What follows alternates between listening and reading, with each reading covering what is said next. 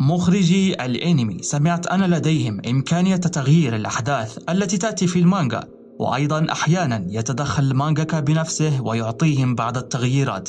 ربما هناك استديوهات تمنع ظهور المشاهد الصعبة خصوصا الدموية. أيضا توجد مشاهد يتم السحب عنها كليا في الانمي وبالتالي تصنع نوعا من الأفكار الخاطئة لمتابعي الانمي فقط. نحن متابعي المانجا طبعا من ينزعج بخصوص هذه التغييرات؟ هناك إنميات مهمة جدا ممكن أقول أنه لا ينفع أبدا أن تغير فيه حدثا واحدا وخصوصا مع هانتر. لذلك حبيت في مقطع اليوم أن أوضح بعض الأمور أراها تتداول مع بعض ال fans في التعليقات. من هو ماها زولديك؟ جايرو هو ميرويم نفسه. جين لا يهتم لجون وهذا أكيد راجع لهذا السبب الذي ذكرته سابقا. هناك من لا يهتم بالمانجا لأنه لربما يكره قراءة المانجا أو ليس لديه فكرة عن ما هي المانجا أصلا. لكن نعلم جيدا أن المانجا تبقى هي الأساس. خلونا نطرح أهم الأحداث التي تم تغييرها في إنمي هانتر أو تم حذفها ونبدأ مع أول حدث أساسي.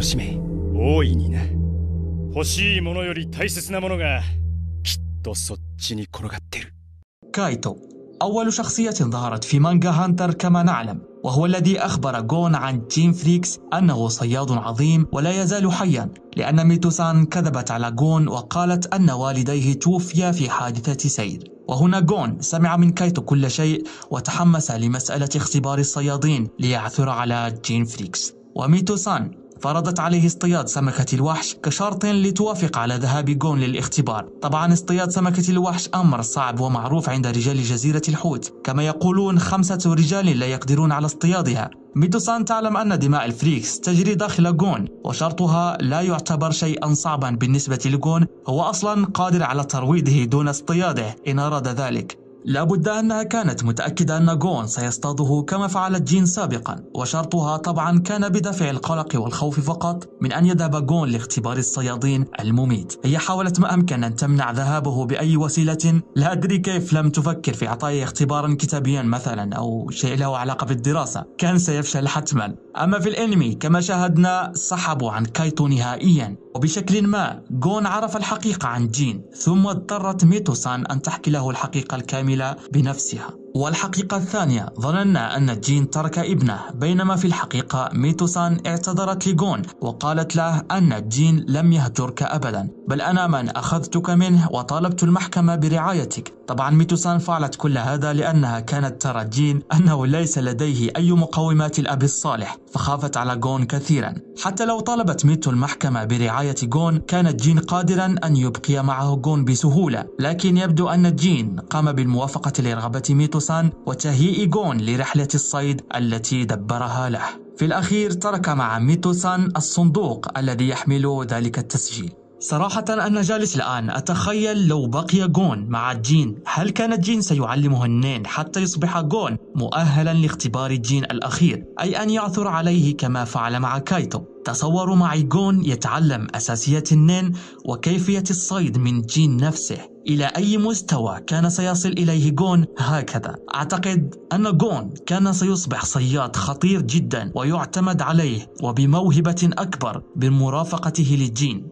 كيلوا. جاء لاختبار الصيادين وقد تكون على يد الزولديك منذ ولادته. لذلك كان كيلوا دائما ما يخطف الأنظار ونراه قويا جدا وخطير وربما لا نقلق عليه كما نقلق على جون. رغم أن جون أيضا اعترف به الكثيرون أن لديه موهبة جبارة جدا لكن تصوروا جون قد تلقى تدريبات من جين منذ طفولته كما هو حال كيلوا. أتخيل أنه ممكن أيضا يجعله يخوض مغامرات اكتشافية مميتة جدا رغم طفولته يعني الفريكس مجانين. حتى من قدرة جون كمعزز لابد أن جين كان سيعطيه الطرق الصحيحة لتجاوز نقاط الضعف المعروفة لقدرة جون. يعني يمكن أن نقول جون كان سيكون أخطر صياد صغير في هانتر. أتعلمون الجميل في الأمر أن نرى كيف جين يعلم النين لابد أن كايتو قد رأى شيئا قليلا من موهبة جين في النين وفي الصيد أيضا طيلة فترة تدريبه. لابد أن كايتو عاش معه أياما مذهلة. بالتالي استشعر روعة الجين في الصيد.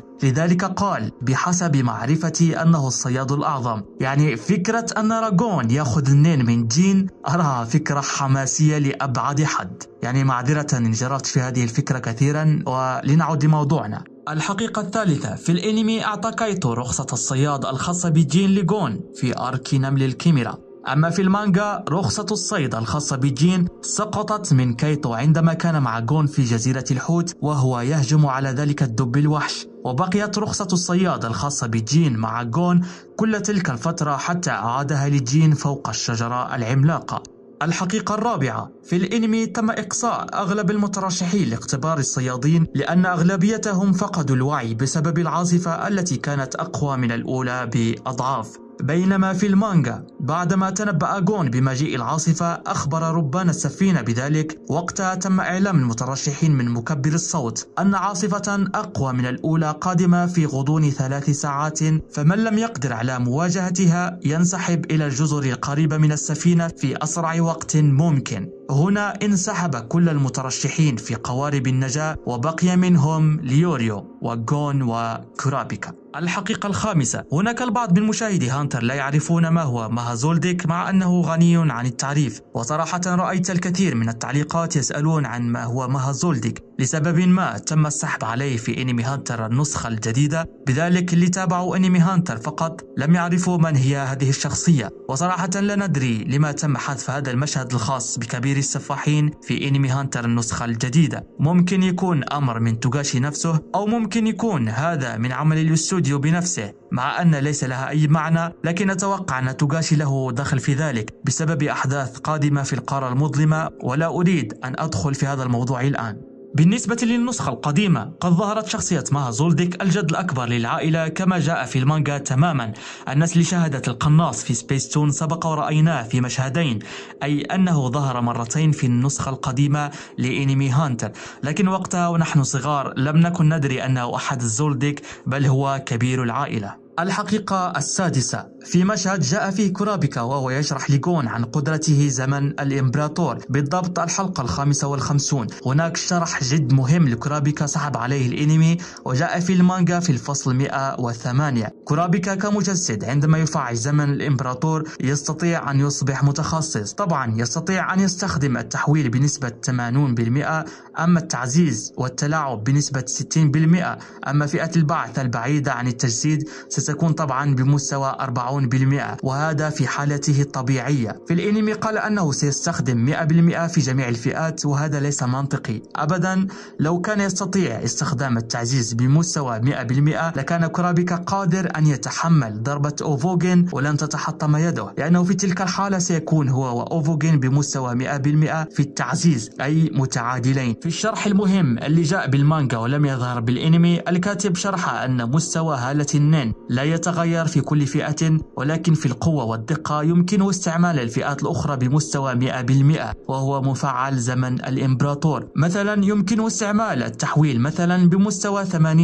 من هالة النين يعني ستبقى ثابتة في هذا المستوى لكن بقوة 100% في هالة النين وبدقة 100% في هالة النين وهذه هي الإضافة التي شرحها في ذلك الفصل توغاشي. ثلاث نقاط مهمة. المستوى لا يتغير لكن الدقة والقوة في هالة النين تصبح 100% في الاستعمال. الصراحة لا أدري لما سحب الإنمي لمثل هذا الشرح المهم جدا. يمكنكم العودة للفصل 108 وتتأكدون بأنفسكم. الحقيقة الثامنة عندما التقى جون بكايتو في بداية arc نمل الكيميرا كايتو مباشرة بعد أن لمحه قال هل هذا جون تشان؟ وجون بدوره قال كايتو. وهذا هو الأكثر منطقية. كيف في الأنمي بعد أن تلاقت أعينهم؟ لم يعرف أحدهم الآخر. رغم أن شخص مهم جدا لجون مثل كايتو مستحيل أن ينسى جون شكله. نفس الأمر بالنسبة لكايتو. على أن هذا الأمر راجع للتغيير الذي غيروا مسبقا في بداية الأنمي. لكن أراه شيء ليس منطقي صراحة لأنه هو من أخبره بحقيقة الجين. جين مسبقا في جزيرة الحوت وأنقذه من الموت. يعني سيبقى شكل كايتو محفورا جدا في ذاكرة جون. الحقيقة التاسعة في الانمي تم السحب عن مشهد مهم جدا بين سلالة زولديك وتم ظهور أب زينو وجد زينو أيضا الذي تحدثنا عنه مسبقا وهو مها زولديك وهذا ظهر في المانجا عندما كان زينو يتحدث عن نيترو في arc نمل الكيميرا والحقيقة العاشرة والأخيرة في المقطع اليوم هذا المشهد ليس مهما للغاية صراحة لكن أضيفه لقائمة المشاهد التي تم حذفها في الإنمي. لدينا في الفصل 315 الصفحة 19 والأخيرة تم ظهور جين فريكس لأول مرة بين الحشود وهذا كان بعد أن شاعت أخبار نيترو فيما يخص استقالته من جمعية الصيادين. طبعا ظهور جين هنا لم يأتي في الأنمي وأظن أنه نفس اليوم الذي التقى فيه جين مع بينز قبل يومين من اجتماع الجونيشن. هذا ما كان لدي. إخوتي أنا حاولت أن أجمع أهم التغييرات التي طرأت في إنمي هانتر النسخة الجديدة. أنا ممكن قد فوت حدثا آخر مهم جدا. إن كانت لديكم إضافة قد نسيتها اكتبوها في التعليقات. في الأخير أريد أن أنوه لقناة أخي آي سايكو. يعطي نظريات وتوقعات عن هانتر. روحوا تابعوه وادعموا محتواه إن عجبكم وسوف أترك لكم قناته في الوصف. أشكر كل الإخوة التي تابعت المقطع للنهاية وشكرا لدعمكم المحتوى. وألقاكم إن شاء الله في نقاش جديد عن هانتر قريب قريب جدا. ما تنه